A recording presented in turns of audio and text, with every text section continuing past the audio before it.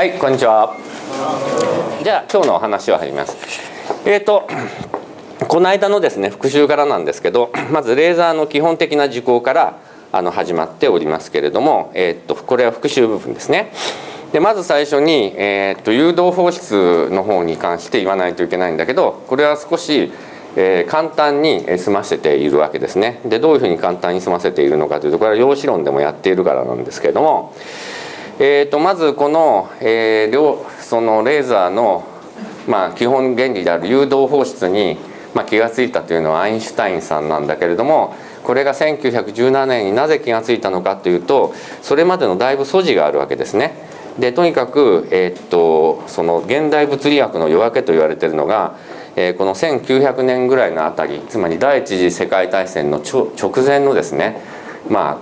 あ、まあ軍備増強ブームというか、えー、いい大砲とかいいそのえー、鉄砲、まあ、銃とかを作るのにはどういった鋼にすればいいのか鋼の、えー、温度を測らなきゃいけないというようなですね軍事的な、えー、要請から始まったんですが、まあ、要は国体放射のスペクトルを測って温度を知ろうとそういうような、えーまあ、国体分光の技術が、えー、すごく発達したわけですね。でその時に、えー、まあその古典論ででその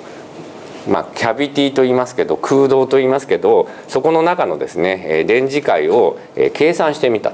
そうするとですねあっけなく破綻してしまった。どう破綻するかというとですね無限大に発散してしまった、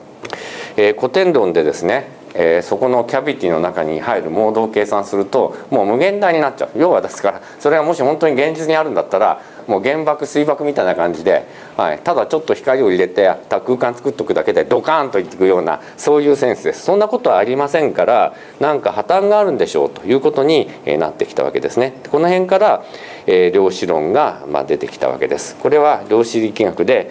えー、習ったというふうに、えー、理解をしております。で、まあ、この辺で、えーあのまあ、当然知ってることとしてエネルギー量子が E イコールハーニューと書くとかえー、この辺、えー、そのプランクの名前を取った、えーと、量子のエネルギープランク上数ってものがあるとかそういうような、えー、お話が、えー、当然常識として、えー、現状で、えー、知ってらっしゃるはずだとそういうふうに、えー、思います。それで さらにですね、えー、ちょっと面倒くさいんですけれども、えー、と放射のプランクの放射式ですね、えー、放射の総量のですねエネルギーを計算しますと。そういうような、え放射式がちゃんと理論的に、え導かれているわけなんですが、えー、とこちらの方はですね、えそれが目的ではありませんから、承認で進むということで、お願いします。ですからこの1式は承認ということで、お願いいたします。今日も多分出てきますけれども、アインシュタインのが1917年に A 係数 B 係数を導入した時にアインシュタインの関係式と後で呼ばれるようになった式を導出するんですがその時に、これが、必要になってきます。これはまだ先週の部分ねですから早くいきますね。で飽和条件ってこれも知ってるはずです。エネルギーの、えーそのはしご段の、えー、エネルギーに相当する際に相当する分の、えー、ハーニューがの放射が出てくるということでありますね。えーと、こちらの方も、えー、昔厳密に、えー、もう証明は当然されております。それから、えー、とこのこれはちょっと tips ですから省きます。えー、はいあのハイゼンベルグだシュレディンガーだという人それから湯川秀樹だ友永慎一郎だって人はですねそんなに昔の人ではないということですね。えー、僕のあの僕が生活しているあの時節ではないんですけれども僕と僕の前の前の世代はあのこのハイゼンベルグさんやなんかの時代になるということですね。ですから、えー、大物の日本の大物学者っていうのは結構、えー、こういう人たちと交流があったということを、えー、この間少し Tips で申し上げました。で今日のえメインはこの自然放出誘導放出のところから始めさせてもらいたいと思います。でここからですね、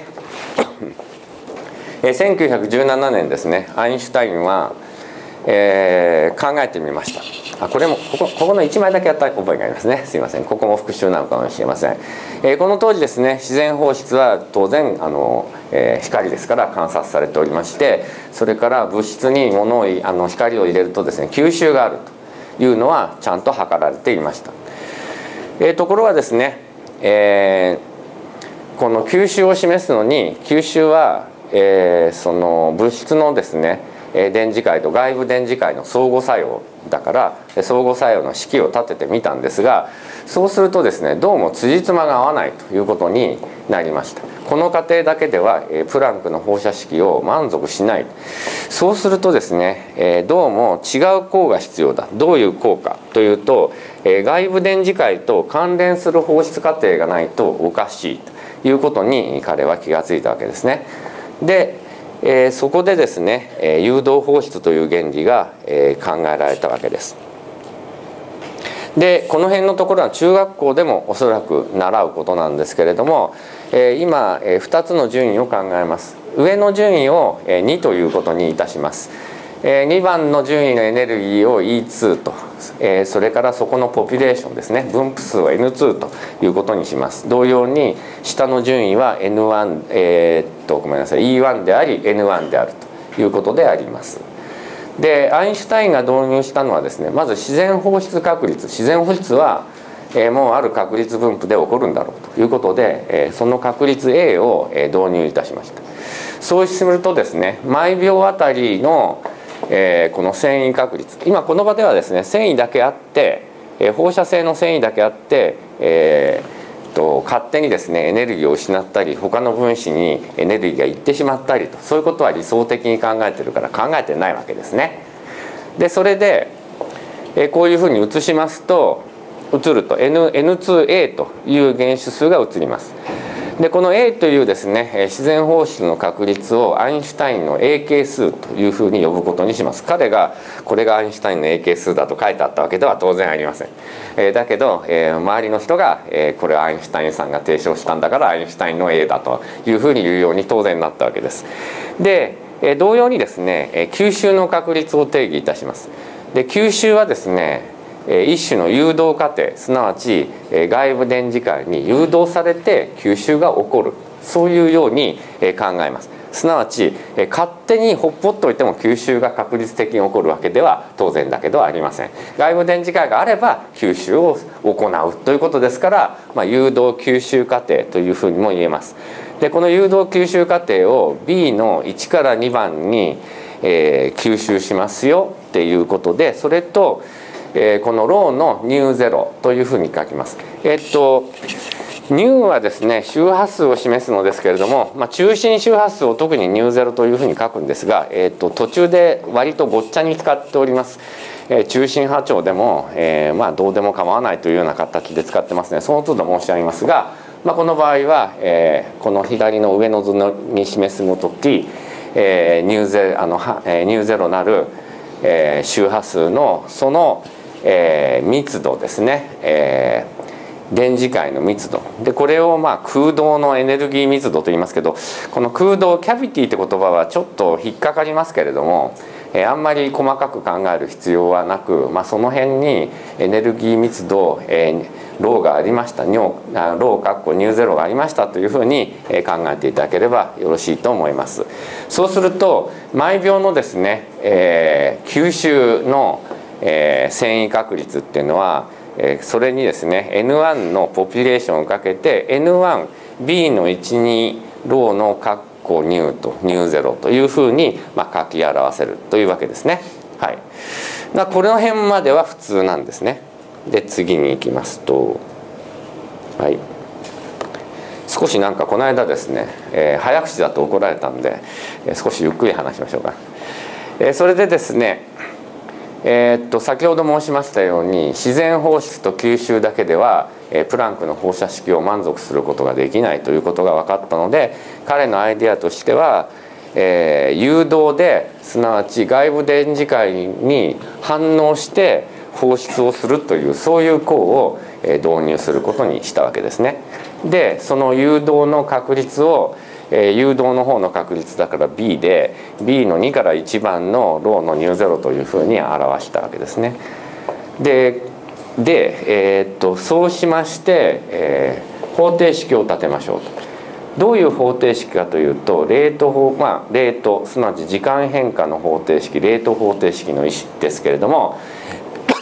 ごめんなさいポピュレーションに関してねえー、分布数に関しての方程式を立てますよ ごめんなさい。えー、N1 ですね。下の分布数を考えましょう。下の分布数がをプラスで変化するんだったらば、えー、上の分布数は、えー、負をつければいいということでそれで統合に置くことができます。えー、まあこれはちょっと差し置いといてで N1 の変化変化を考えると、えー、放射してしまった自然放出してしまった。それから、えー、あとはもう一つ一番右の項はえー、誘導放出してしまった。で真ん中が吸収で上がってきた。という項になりますね、えー、この3つしか考えてないので、えー、当然そういうふうになるわけです。でこの方程式が基本なんですけれども実はですね B の12と B の21は同じものだったんですね、え、上がるも下がるも同じですこれはえ証明することができるんですが、えこれのこれをこれは口実しますがえ一緒になるってことをここで承認をもうしてしまうとすると、えこの B をアインシュタインの B 係数と呼びます。でここでアインシュタインの A 係数と B 係数が出てきたわけですね。これはねなかなか実は眼蓄がある。えー、後でもまだまだやりますけれども、えー、とこのレート方程式は前の前の、え式と全く同じ式なんですが、えこのようなですね、え個数のやり取りあるいはある時はですねえフォトンの数のやり取りになったりします。えー、つまり、えーと、この左の左辺左辺右辺をイコールにするものは、えー、粒子の分布数の変化率でありあるいは光子の変化率でありっていうものを大体置きますけど、えー、いずれにせよ、えー、っと下は dt 時間変化になってるのでこのような方程式をレート方程式と呼びます。でレーザー作用のですねかなり多くの側面はこの簡単なレート方程式まあ一種の反応式ですよね。あの化学反応の反応式と同じですけれどもそれで示すことができるということになります。さてですねじゃあレーザーのレート方程式以外にどういう理論があるのかっていうのをちょっと脱線して考えてみることにしましょう。そうすると,、えーと、このちょっと複雑な図なんですがこれは、えーと、福井大学の先生が描いた図を、えーと、ともらってきたんですがなかなかよく描けてる図なので素晴らしいのでありますが、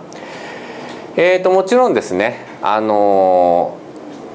物質の世界とそれから外部電磁界の世界があるわけですね。でそれぞれに対して、え古典論とそれから、え量子論っていうのがあるはずです。で、えまず完全な理論の場合は全部量子化して量子論でやるというのが、え一番完全な状態になるわけですがこれは、えあらゆるものでそうですけれども、え完全な量子論を、え意図いたしますとなかなかと処理は難しいものになってくるし計算も煩雑なものになってきます。完全な量子論っていうのはじゃあどういう時に使わなければならないのかっていうと、適用範囲というところを見ていただくと強度の揺らぎとか、工事相関とか、統計それから、発信スペクトルなどを、議論する場合はえー、完全な、えー、量子力学をやらないといけません。あとだから、まあ、強度の揺らぎっていうのは雑音っていうセンスも含みますね。例えばアンプで、え、増幅する時にどのぐらいの雑音が出るんでしょうなんていう計算はですね、え、こちらの方でやらないと、まあ、いけないんですね。でところがですね、え、もう少し簡便化することができてどう簡便化するかというとえー、とりあえずですね物質ははしご段の方の量子論を考えておいて、えー、電磁波の方をマックスウェルの方程式に従うという古典論を、えー、導入するというそういったものを、えー、非常に多用します。でこれはですね反古典理論反古典論と言いますけれども、えー、こちらの方でですね、えー、分かることはかなりいろいろなことが、えー、分かります。えー、発信周波数引き込み押し出し、えー、超短パルス発生モード動機、えー、後で出てきますけどね、えー、ラムディップなどのですねことが反古典理論で、えー、計算することができます。でさらにですねもっともっと、えー、省略してしまいます、えー、波動すら、え省略してしまうとそういう意味でありますけれども、えそうしますと、え今言ってた単なる時間変化ですね、えー、指数あるいは、え分布する粒子数の時間変化を横軸に取ってくるようなレート方程式を立てて何が分かりますかっていうと、えレーザーを発信させる状況とあの条件であるとか、え取り出し出力であるとかえ最適な取り出しにするための鏡の透過率であるとか、えそれから、え Q スイッチっていうこのパルスの出し方なんですけれども、えこういったものの、え性能であるとかそういったものをレート方程式から計算することができましてかなり多くの部分を、えこのレート方程式で解くことができます当然ながらレート方程式さらにさらに簡単に解こうと思ったらばあの定常定常状態を仮定するとかいう、えー、大胆仮定によりまして、えー、左辺とかゼロになるわけですからあとはもう算数に、えー、落ちるわけですね。はい、ということで、え、レーザーの理論っていうのは、え、こういうような、え、積み重ねになっています。で、えー、っとレーザーはですね、えー、っと1900あの発信ね実際にルビーレーザーが得られたのが、えー、1960年60年ぴったり60年なんですが、えー、っとその前前からですねどういうふうにあってレーザーが出るんだろうということで理論研究は始まってるわけですが、えー、1970年代の半ば頃にはですねもう完全な量子論まで、えー、終わりました。ということで、えー、もう三十数年前にですねレーザーの理論は、えー、おしまいになっております。えー、なおですねあのこの物理の理論というものはえ皆さん物理好きな人が多いと思いますけれども、えー、非常に多くの部分で現現代の世の中で使われている非常に多くの部分で、えー、もう、えー、終わっていると言いましょうか、え終わっているという言い方はよくないんですが、えまあ、式を解いて、えある一定の説明になるというところまでは完全に体系化されている。えところがですねまだ物理学をやっている人が一方でいるじゃないかな何をあの人たちはあの、えー、研究されてるのっていうとですねその間の現実とのつなぎなんですね。えー、式を解けるようにするためにですねものすごい、えー、大胆な、えー、条件の過程を入れたり、えー、あるいはですね、えー、測れない、えー、絶対に計測できないような、えー、パラメーターを物性値を、えー、設定してですね式の中に入っていたり、まあ、要はですね式としてはえー、辻褄合うんですけれどもじゃあ現実的に計算してみなさいよって言われると計算ができない例が非常に多いんですね。ですから今の物理学というのはそこを埋めてるというふうにあの、まあ、物理の先生に怒られるかもしれないけど、えー、簡単に言えば解釈することが、えー、できると思います。えー、さあとここで、えーと、断熱近似省略ってここにも書いてあるんですけれどもあこっちないやごめんなさい。えー、要するに反古典反古典じゃないや量子論から反古典理論に行きました電熱近似って一体何なんですかっていうことなんですがこちらはまあ量子力学皆さんやられたので、えー、お分かりになってるかと思いますけれどもこれは省略してもいいかな。じゃあちょっと省略しましょう。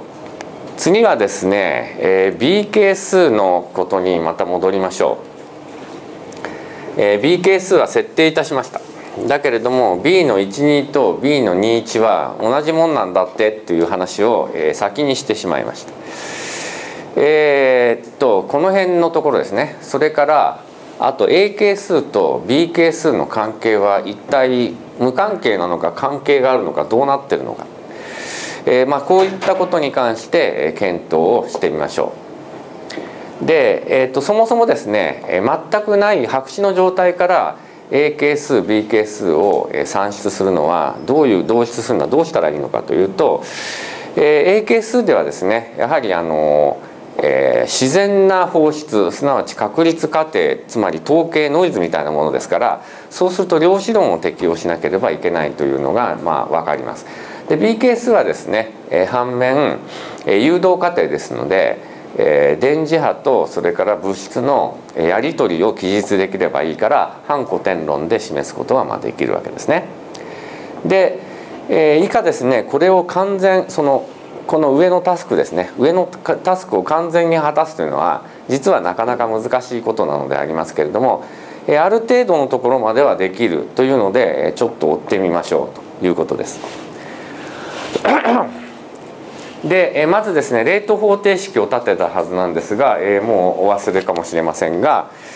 ポピュレーションにかけてあの立てました。はいえー、上位順位でも下位順位でもよろしいんですけれどもそれを DDT と置きまして、えー、自然放出でなくなる誘導放出でなくなる吸収で上がるそういった3項を足し算したようなレート方程式だったんですが、えー、そこのところでですねえー、とですね D の dndt イコール0としてこれは要するに定常状態ですね、はい、定常状態仮定をしてですね、えー、それで変形を始めますでその次の大胆仮定としてはですね、えー、もうまあこれ導入しなきゃいけないわけなんだけど、えー、原子のですね、えー、エネルギー分布が、えー、エネルギー分布状態がボルツマン分布をしているんだというようなことをここに導入します。でそうすると,、えーと、ボルツマン分布で N1 と N2 の、えー、エネルギーが分かってればですね N1 と N2 の関係が出ますから、えーと、ここの N N2 分の N1 をあの消せます。でそれからですね、えー、っとまあ、G と書いてありますけれどもこれはまあボルツマン分布に入ってきますけれども、まあ、縮体なんですがえー、っとまあ、縮体というのは、えー、エネルギーのレベルが割れていてですね、まあ、それに対して、えー、場合分けを考えてるのでありますけれども、えー、この縮体はですねあのあってもなくても、えー、結果は実は同じでありますので、えー、ここではですねあのこの授業ではですねもう縮体はですねもういつもないんだっていうふうに、はい、あの考えていただいてよろしいと思います。はい宿題はですねなくしかもですね宿題はなくて1なんだというもうとにかく何もないと、はい、レベルが2つに割れてることはなくても完璧1本だというようなそういうような簡単に単純に考えていただいてよろしいと思います。えそうするとですね4番まで起こってくるんですがここで先先に書いてあったプランクの放射式と上の結果を比較するということになります。で比較するとどうなるのかっていうことなんですが比較するとですね最終的には、えー、B が B12 と B21 が等しいという、えー、この重要な結果は得ることが、えー、できるわけです。それから A と B の関係を、えー、そこから示すことができます。でこの A と B の関係をアインシュタインの関係式というふうに、え、言っております。はい、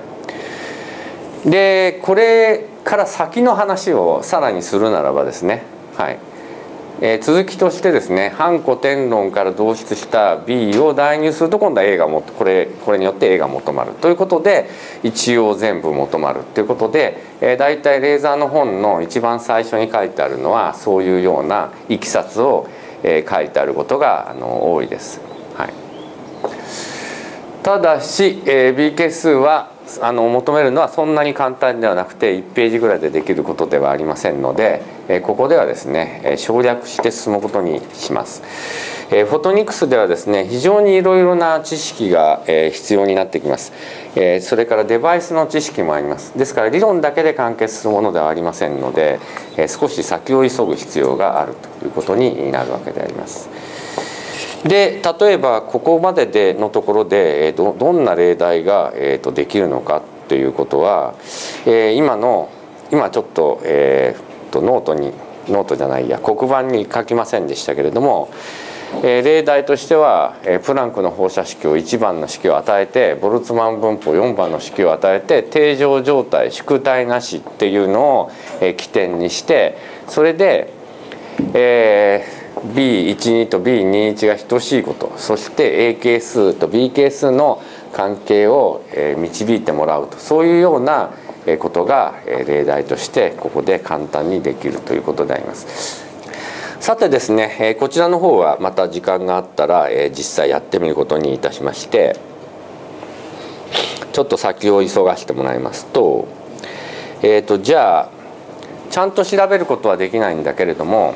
アインシュタインの A 係数の標識は一体どういうふうになるのかということですね。これはちょっと結論から出てしまいました。で A イコールですね。イプシロン 0C3H 分の 16π3 乗ニュー03乗ニュー次乗、えイプシロン0はですね電磁気学と同じです。真空の、え誘電率になります、えスモール c は、えおのずと知れた、え高速ですね。真空中の、え光の位相速度になります、えそれから H はプランク乗数になります。でえー、っとニューゼロは、え中心周波数になります。えー、書いてないのがニューニューですね、えー、こちらの方が物質の固有乗数というかな、えー、物質由来の乗数になります。これは、えー、電気双極子モーメントですね。はい、えー、電気双極子モーメントミューの事乗になるわけですね。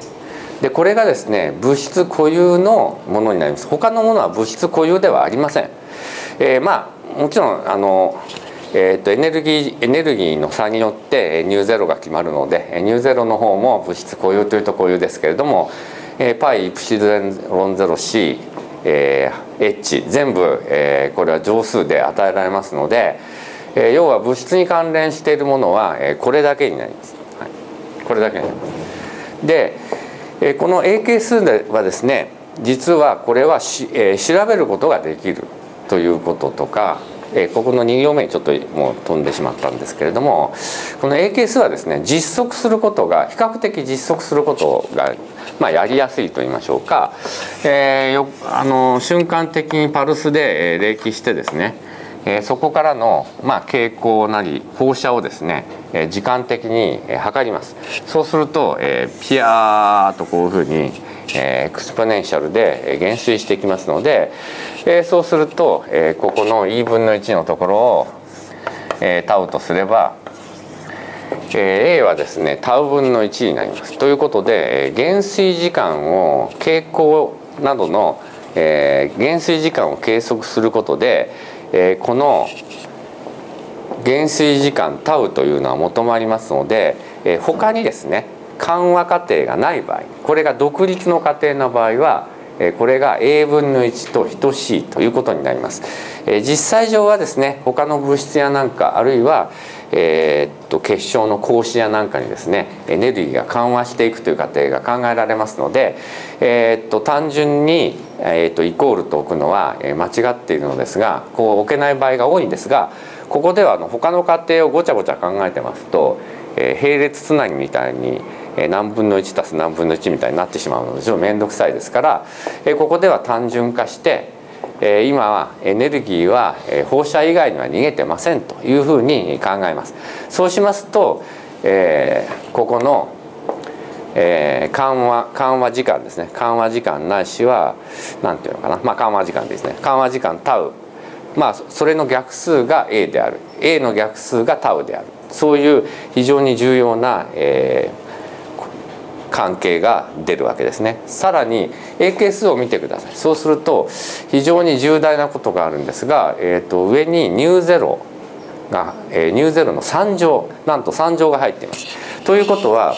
周波数が高い繊維を考えるとものすごく確率が高くなってくる。ということを言ってるわけですね。周波数が高い。どういうことかって言ったら波長に換算すれば、えー、分の1ですから波長がえー、短い波長が短い。すなわち赤外線よりも可視可視よりも紫外。波長が短い。ね。波長が短いものそういうような光を出す繊維を考えると A 係数がものすごく小さあ大きくなるということになります。で、えー、タウ寿命は短くなるということになってくるわけですね。はい。えーと、これはですね、えー、後でレーザーを作りにく作りにくくなるという重大なあの、えー、欠陥を生じます、えー、赤外線のレーザーよりも可視のレーザー可視のレーザーよりも紫外のレーザーの方がどんどんと作りにくくなります。やりにくくなります。これは、えーと、レーザーをあのレーザーの条件を整える前にこの AKS によって自然放出してしまうと。いうことが原因になっています。で、えー、っと物質固有乗数が、えー、っと分母に乳児上の風にあのかかってるっていうのをお忘れないようにお願いいたします。例えば皆さんこの AK 数が大きい物質っていうものは、えー、と皆さんの多分机の上にあります。えー、筆箱の中に入ってる、えー、蛍光ペンっていうのを、えー、皆さん多少は持ってると思いますがあの蛍光ペンの、えー、色素ですか。あれはだいたいローダミンという色素が使われてるんですけれどもなんか塗っていただければ分かりますがテラテラ光ります。でテラテラ光るっていうのはどういうことかって言ったらばこれは、えーと、蛍光寿命が短いわけですね。AK 数が高い、えー、もっと、えー、どんどん言うと、えー、この、電気相挙式モーメントの事情が大きいそういった物質が、えー、蛍光物質になっているわけですね。普通の物質は例えば、えー、普通の何て言うんですかマジックインキの赤はテラテラは光らないでしょ。だけれどもラインマーカーのその薄桃色色薄桃色はテラテラ光ります。はい、それから、えーと、例えば古くなったらラインマーカーやなんかのインクを見てるとなんか固まって固体みたいになったのはなんか虹みたいにデラデラデラデラ光ってます。あれが蛍光ですね。はい、蛍光を発してるんです。非常に大きい AK 数を持っているということがわかります。でまあ、世の中のですねあのおよそありとあらあらゆる光はですね AK 数であの発生していますだから今あなた方が勉学に使ってるこの蛍光灯蛍光灯の原理を知らない方いますか？というか、えー、と皆さん知ってると信じてますが、えー、蛍光灯は基本的には水銀ランプなんですね。中に水銀が入っていて水銀の薄い蒸気が入っていて両方に電極があってポーッと放電してるんです。そうすると水銀から紫外線の放射があります、えー、水銀が冷気されてで落ちる時に紫外線を放射します。でですから紫外線だけですと、えー、お肌に悪いだけで全然明るくないです。明るさを感じません、えー、ところがですね蛍光蛍光灯というぐらいだから、えー、その白いですねあの白色の蛍光剤がびっしり塗ってありますでそこで紫外線が可視光に変換されてそれであなた方が今明るくなっているとそういうふうな原理になっています。ですからこの蛍光灯もですねこれは自然放出だということですね。それから最近流行りの省エネランプのえ LD ランプもそれはもちろんあの半半導体の中のえホールとですね成功のえー、くっついた時の、えー、冷気を使うんですけれども、え、光の出方としてはレーザーではありませんであれも自然放出です。えー、それからは、えー、何？白熱灯白熱灯もフィラメントがあの熱くしますよね。熱くすると、えー、放射があるわけなんですが黒体放射があるわけなんですがあの黒体放射もあのこれも、えー、っと自然放出ですしそれから星が瞬いてる。これも、えっと星からの自然放射になります。ですから、え天然にあるものはですね全て、えこの自然放出口というふうに、えなります。でこれはあのなんていうのかな。え昔はですねレーザーができる前にメーザーというものがありました。マイクロ波のレーザーと考えてください。原理は、えレーザーと全く同じなんですが波長がマイクロ波なんです。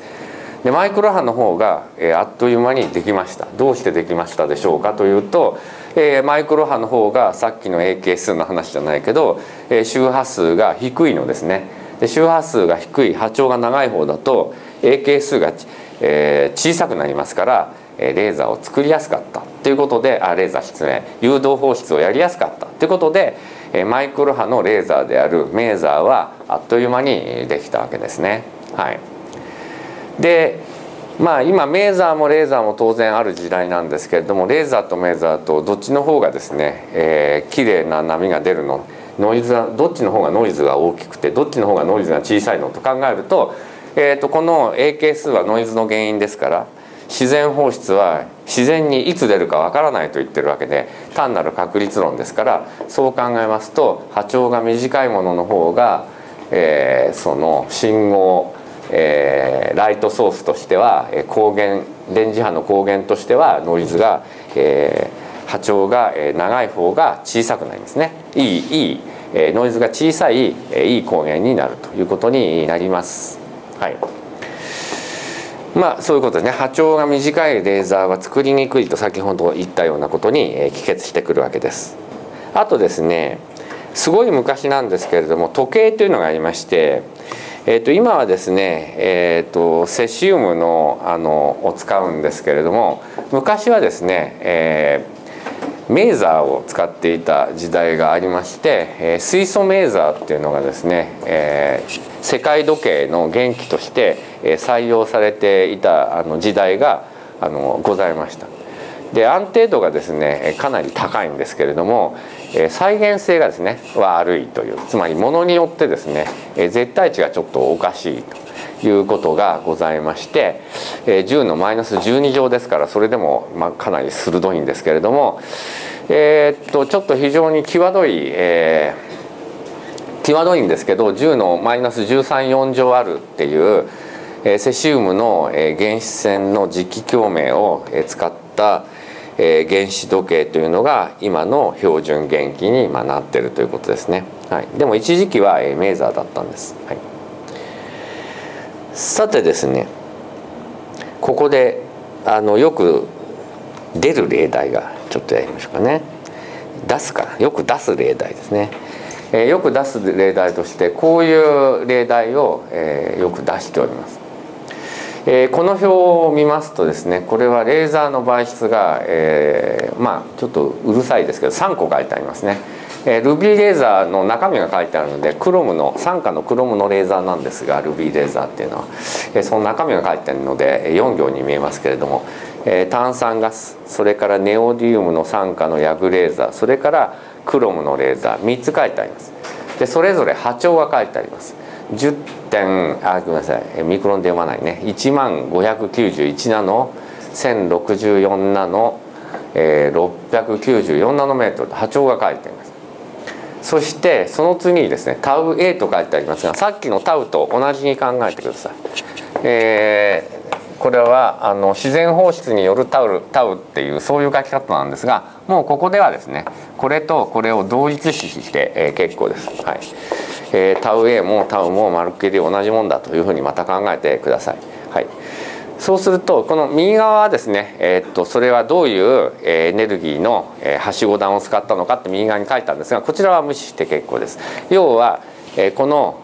えー、この左のですね、えー、6つの欄を見る。数字としあ数字6つね、えー、欄としては9つを見るということになります。で設問です。えー、問を見てみましょう。炭酸ガスレーザーとルビー、えー、とルビー、えー、炭酸ガスレーザーと、えー、ルビーレーザーの波長を比べましょうと、えー、10点、えー、10ミクロンですね。10.6ミクロンぐらいですね。とそれからルビーレーザーの694ナノメートルを、えー、比較しますと。でそれだけ考えますと、えー、ルビーレーザーの繊維の電気双極子相互作用モーメントが炭酸ガスレーザーと同じだったらすなわちですね、えー、両方の両方でこれは物質固有になるんですね。これは物質固有の値になるので、えー、当然違ってるんですけど仮にというわけですね。仮に同じなら仮に同じだったらばルビーレーザーのタウェイはいくつになっちゃうのかっていうことなんですね。すなわちえー、っと漢字としては、えー、ここを消すわけです。ここここはない。わからないと。考えるんですね。ここがわからない、えー、ルビーレーザーのタウタウがわからないよ。自然放出寿命がわからないよ。って考えてそれで、えー、と CO2 レーザーの方の自然放出寿命は与えられました。でさらに、えー、設問として、えー、電気双極子モーメントの事情は同じです。というふうに与えられた時に一体ですねえー、ルビーレーザーのタウ A はタウはいくつになるんでしょうか？っていうのを、えー、計算してみてくださいということですね。それからその次なんですけど、えー、とそれをやってから、えー、ルビーレーザーのタウ A はこの表にあるみたいに4.3ミリミリ秒だったんです。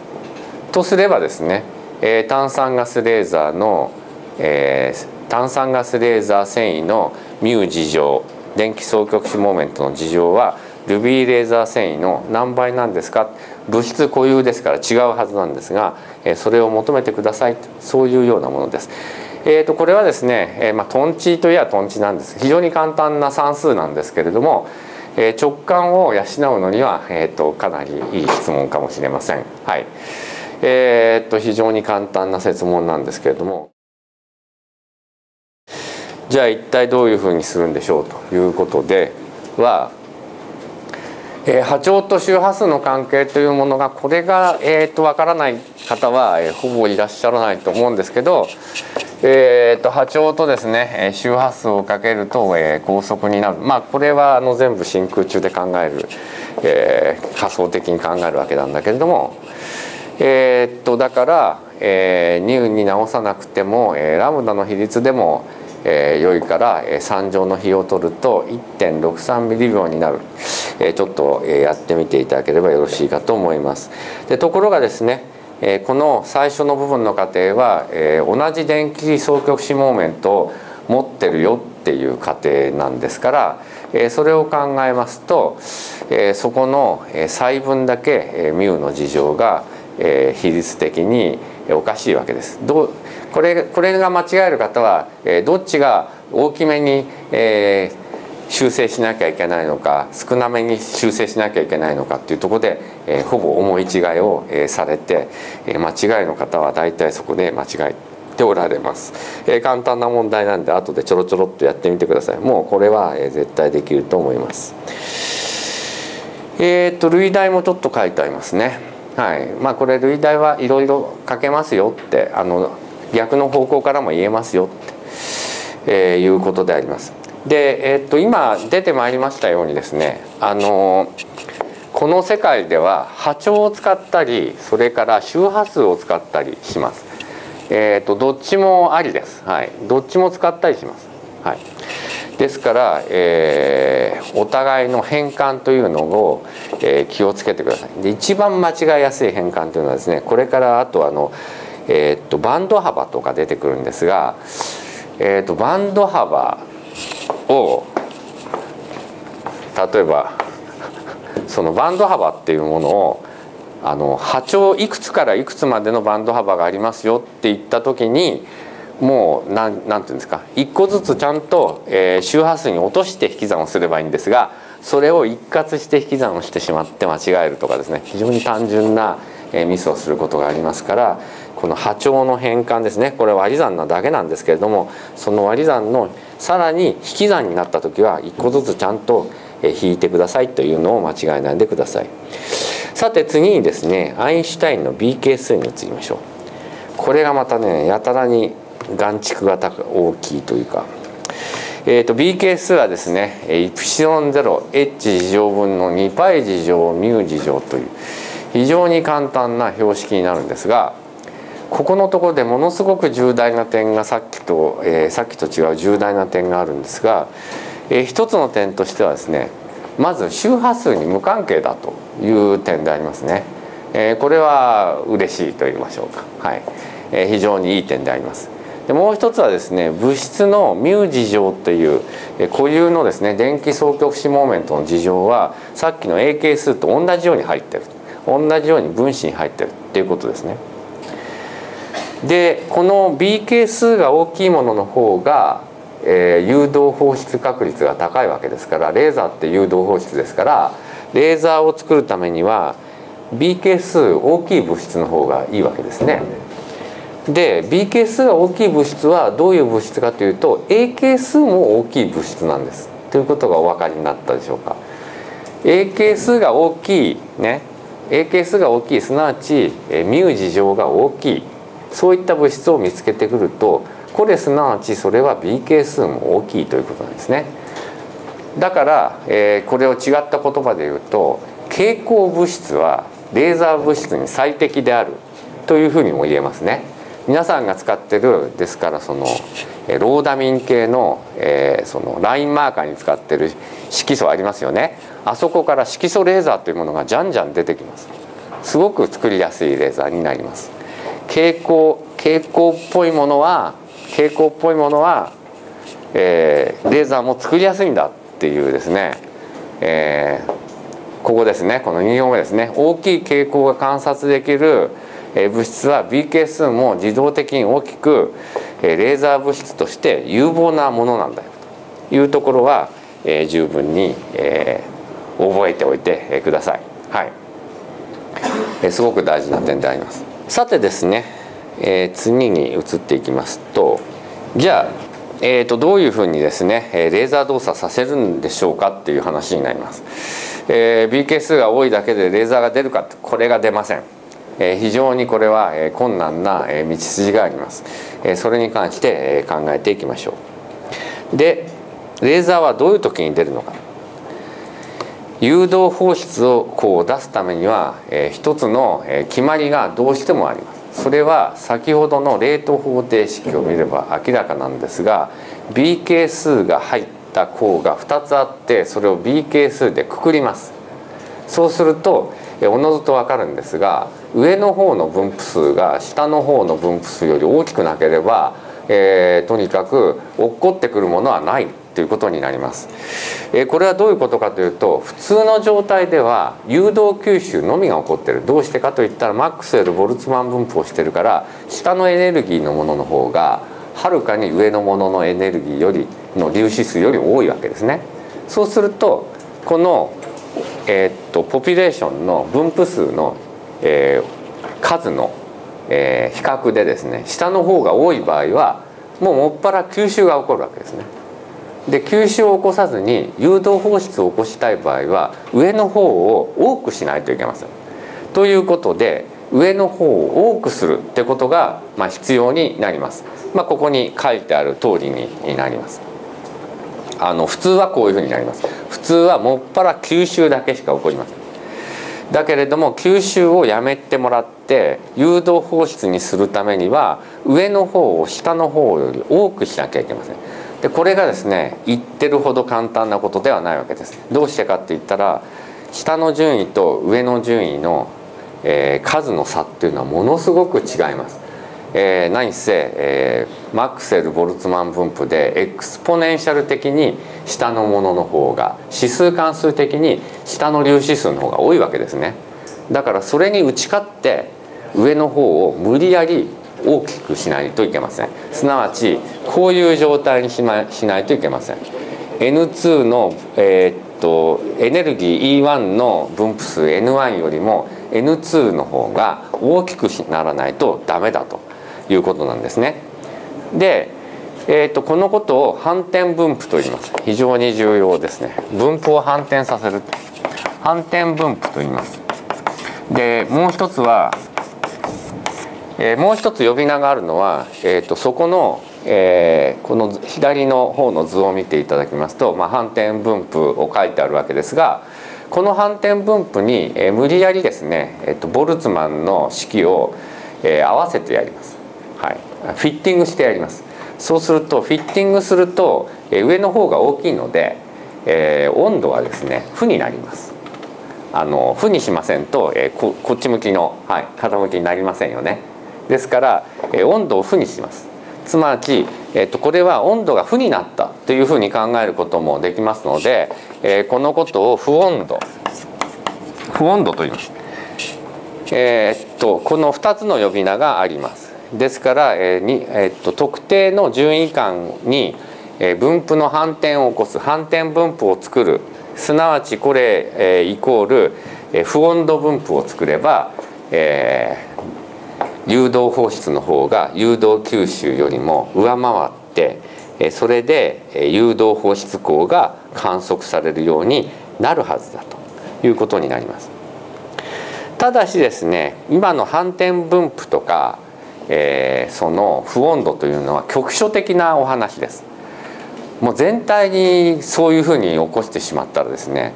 あのものがもうバラバラになってしまいます。えー、一部だけです、えー、ここに示しますように一部の特定の、まあ、さっき E1 と言っていた上位順位ですね、えー、レーザーの上位順位と言いますけどこの今のですね、えー、E1 のことね。E1, E1 のことをですね、えーと、このエネルギーをじゃなくて E1 の順位のことですね。E1 のレベルですね。順位のことを、えー、レーザー上位順位。で同じように E2, E2 順位のことを、えー、レーザー下位順位と言いますけれどもそういうふうに言いますけれども、えー、ここの特定の2つのところだけを見た時にあの不温度とか反転分布ができてるそういう意味です。えー、全体に作ることは、えー、もう物質が壊れてしまってできません。えー、この一部分のとこにエネルギーを入れるのもものすごく大変なことなんですね。えー、もう容易にできるものではございません。えー、何分ですね、えーと、後でも出てくると思いますが、えー、その誘導放出の、えー、がを提唱されたアインシュタインさんの、えー、1917年。これが1917年ですね。ところがさっきから言ってるようにレーザーが出てきたのが1960年ですから、えー、そのギャップたるや43年間もあります。この43年間あのこれは実現できなかったということなんですね。だからものすごい大変だった。5年や6年ではできなかったということですね。はい。一部分に、えーと、非平行状態を作るわけですね。全体ではありません。さあそれでじゃあその、えー、この反転分布を作るため何が必要なのかっていうと特定のところにエネルギーを注入する必要があります。まあえーと、いい例えばこの、えー、E2 の方のこのあ E1 か。ごめんなさい。階順位ですね。階順位の方をの数を減らしてしまうというそういう方策もありますけれども、えー、数を積極的に増やすよりは、えー、上の方を積極的に増やす方が、えー、やり方としては簡単です。でそこでですね、えー、2番目の方の準位上位準位にエネルギーを注入するということになります。えー、この注入するのが、えー、励起と言われているものですね。励起。励起ですね。はい。励起する。はい。 excitation pumping 何でも結構です。はい。えー、励起、pumping ないしは励起です。そして、えー、N1 とあ、つまり E1 と E2 ねの間に非平行状態を作るということであります。それを反転分布ないしは不温度というふうにまあ言ってるわけです。で、えー、こちらのですね、えー、不温度を作るのはもう非常に大変だったんですけれどもえー、レーザー装置ってものがありますけど レーザーを作る装置ですね。でレーザー装置はですね、えー、結局要は何をする装置かというとですねこれですね、えー、ポンピングです、はい、ポンピングをどうやってするのかっていうことが、まあ、レーザーこれがだからもうほぼその、えー、レーザーを作る工学のことを、えー、レーザーレーザー工学と言いますけどレーザーの工学の、まあ、大部分を占めてるのが冷気をいかにしてやるかということでありますね。でここにここの例はちょっと小さくて見えないかもしれませんが、えー、っとうちの研究室にある固体レーザーなんですが、えー、レーザーが出るところは小さいです、えー、直径が8ミリぐらいで長さが80ミリぐらいですか。そういうそのロッドなんですけどね。棒状のものなんですが周りからフラッシュランプでバカッと光を入れてあげて光で冷気します。えー、まあそれもですねただ単に光を与えただけではですね後で何度も出てきますけど到底ですね一つのところに、えー、ポピュレーションをドーンと増やすと冷気を行うということは、えー、できません。ですからみんなあの涙ぐましい努力を、えー、重ねています。でじゃあ主な冷気法には何があるのかってことでこれは後で後の各種レーザーの方でも出てきますけれども、えー、っと大きく分けてですねメジャーなものに3つあります。でまあオタッキーなものがまたいくつかありますけれどもメジャーなものは光冷気です。これはですね固体レーザーとか色素レーザーとか下のですね電流とかが流せないようなものね放電で冷気できないようなものは、まあ、仕方がないので光で冷気いたします。えーと、これはですねレーザーに限らず、えーと、固体物性をこれからおやりになる研究室に行かれる方は、えーと、固体の中の、えー、固体の中のあのことを調べる時にはいちいち切ったりですねすることはできませんからえーとまあ、電流電圧特性をと見るってことはそれは挙手的な方法としてあると思いますけれども、え一番いい方法は過渡的に一番いいのは、え光でプローブする光で探索するって方法ですが、まあ、それとそれの裏返しみたいなものですけれども、え個体に関しては、え光冷気を使うのが、え普通の普通であります。でそこのとこにさらに赤字で書いてあるんですけれどもフラッシュランプアークランプをつまりランプを使うほか最近では半導体レーザーを使うって書いてなんか複雑なことが書いてありますけど実は半導体レーザーっていうのはものすごい安いレーザーなんです。後で出てきますが、え、ですから半導体レーザーを使って固体レーザーを冷気するとものすごい高効率でしかもですねえーと、かなり大きかったのがもう手のひらサイズになってしまうと。いうことになって、えー、最近20年間ぐらいのあなた方があのお生まれになってからのレーザーの大革新であります。それからですね、えー、古典的には放電冷気というのを使います。これはガスですね。ガスに対して冷気を行う。今あなた方のあのえー、天井につらさ吊る下がってないか、えー、設置されてる、えー、蛍光灯もですねこれは放電冷気なわけですね、はいえ、水銀ランプを放電で冷気してるわけですが、え、こういう気体に対してはですね、え、放電を使うというのが、え、上等手段です。それからあとは、さっきも出てきましたが半導体レーザーの場合は直接半導体の PN 接合に電流を流すことで冷気が可能でありますので非常に簡便で効率も高くなります。この3つがですね一応一番メジャーなものですね。その他にかなりオタクのものがありまして例えば化学化学冷気これは化学反応で冷気を行うというようなものなんですがうーんとあんまり使われておりませんけれども、あんまりいいことではないかもしれないけどあの兵器のレーザーとかに、よく、使われます。えー、ガスを燃焼させて燃焼ガスの中でレーザーを起こすということです。あとは、えー、電子ビームで冷気するという方法もあります。これはそうですね。えー、電子ビームというのが、え、これもあの軍事の影響なんですけれどもアメリカの3代ぐらい前の大統領でレーガン大統領というのがいた時に「え、スター・ウォーズ計画」というのがあって、まあ、その時はソ連だったですけれども、宇宙で、えーと人工衛星同士の戦争をするんだみたいな構想が本気でやっていた時があってその時に電子ビームのことがもの、え、大発展しました、え、それに伴ってフリーエレクトロンレーザーというレーザーまで発展したんですけれども、ま、ちょっと軍事とですね、え、こういった科学技術っていうのは常に結びついててあまり気分が良くないですが、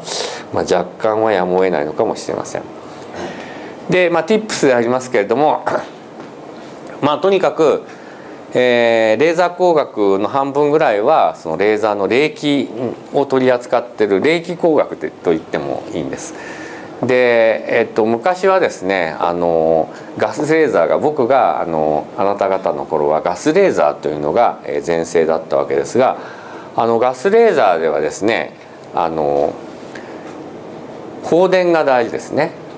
放電で冷気するわけですがここに書いてありますように放電で冷気するわけですが放電冷気の場合ですねあの普通の放電屋さんが扱ってる放電の研究者が扱ってる放電ガスとちょっと違うんですねさっき言いましたように B 係数があごめん、えーまあ、B 係数ですけど、え、ミュー事情が大きいような A 係数 B 係数が大きいような物質を持ってきて何とか使おうとしてるんでその物質が放電に適していない物質のことが多いんですね。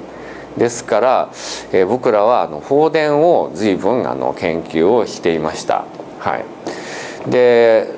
なぜかですねあの今の、えー、そうですねあのえーと、電子工学科にまだおられる教授の先生なんかも放電工学が、えー、ご専門なんですけど放電が専門の先生っていうのはなぜかわからないんですがレーザーのガスに放電をかけるというのにはほとんど興味が示されないっていうことでなかなかあの学者でもですねあの根っこのところは割と保守的なのかなみたいなことはございます。でこれ今日の最後のスライドになりますけれどもものすごく大事な点であります。で今までレーザーですね今日話してきた範囲で2順位しか考えておりませんレーザーの上位順位と下位順位しか考えておりません、えー、でもですねこれ2順位しか考えないというわけには現実的には参りません、えー、どういうふうに組み立てたらいいのかっていうことが書いてあるんですね。でそれの大事なシステムとして4つのレベルを考えた4順位レーザーシステムというのがあります。でどういうものか順を追って見ていきますと,、えーと、ここはちょっと小さくて見にくいかもしれませんが、えー、順位として0番と書いてあります。そしてですね1番2番の他にですね、えー、左上に3番というレベルを設定してあります。で、えーと、とポンピングですねこの、えー、レーザーで一番重要な冷気はですね2番に直接2番に直接冷気するのではなくて3番に冷気をします冷気は3番に行うでエネルギーが3番に入りますねでそうしたそのエネルギーはどこにもやってくるかといったらば2番の方にやってきます。ということで2番に最終的にたまりまして2番1番の間で反転分布ができれば誘導放出が起こってそれで1番の粒子数が急激に増えます。でそのままにしておきますとここで終わってしまいます。ここが増えて途中で終わってしまってと全部エネルギーを排出することができませんので1番のところにエネルギーがたまりましたらなるべく早く一番下まで落としてあげないといけません、まあ、こういうようなシステムを考えてるわけですそれで、えー、とこの3番というのはですねどうして必要かといったらば冷気しやすいというために必要です。え冷気あの物質にも、えー、っとエネルギーを入れるっていうものはことはなかなか大変なので例えば3番は線で書いてありません。バンドで書いてあります。幅で書いてありますね。あそこの幅のものはみんなできるだけ受け取っちゃおうというそういう感覚です、えー、そうしませんとですねあの100ジュールぐらい光でエネルギー与えましても実際に物質に吸収されるのが1ジュールぐらいしか吸収されないってことになりましてそこでもう冷気効率が1%になってしまいましてもうもうレーザーとしてはほとんど出なくなってしまいます。ですから3番はものすごい吸収効率が良くないとダメそれから1番を考えていただきたいんですが例えば1番が規定順位だったらどういうふうに考えますでしょうか？規定順位の分布粒子数っていうものはものすごく多いんですね。ですから多いとどうなるかというと反転分布を作るために2番の、えー、っと冷気をかなり強烈に行わないといけません、えー、全くできないわけではないですけどものすごく危ういです。ですからこの0番と1番の間というのは、えー、同じ順位ではもう困りますしなるべく持ち上げておく必要があります。えどのぐらい持ち上げるかっていうとここの 2, 2段目に書いてありますけれども要は、え運動エネルギーですね、え KT で、え1番目が充満しないようにえーえー、っとまあ、その物質のあの KT よりも上目のところに、えー、1番の順位を、え、上げといてあげる必要があります。でこういうふうに見ますとですねこういうふうに見ますとレーザーは2番1番で出ますよね。ととするとですね3番までエネルギー上げてる量子を使ってるんですがエネルギーとして回収できるのは21だけなんですね。ということは、えー、もう取りも直さずですねあまり効率が高くない